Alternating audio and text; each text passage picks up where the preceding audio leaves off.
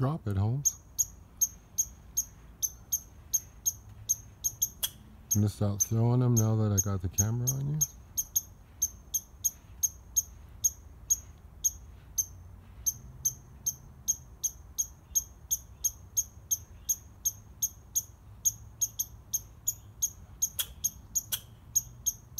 Huh.